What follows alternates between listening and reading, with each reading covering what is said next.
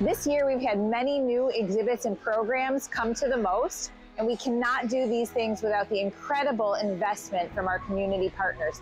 We are providing STEM education in a way that is hands-on, engaging, and fun, and is preparing our children for the future.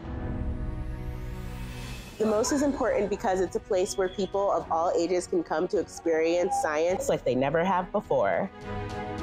I think having a location for kids to come and learn outside of the classroom in this beautiful old armory building, it's an exciting place, not just of exhibits, but watching families learn together and that bonding experience that they have is wonderful.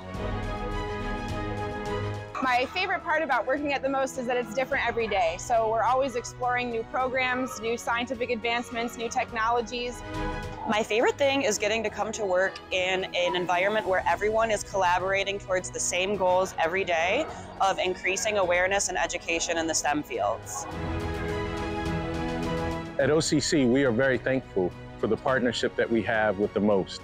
And I can tell you that an investment in any one of our institutions, the MOST or OCC, is an investment in the community. Please consider making a donation to the MOST this holiday season to allow us to continue our STEM programming and educating the next generation. It allows us to create a community space like the museum that's really dedicated to ongoing learning for, for students of all ages.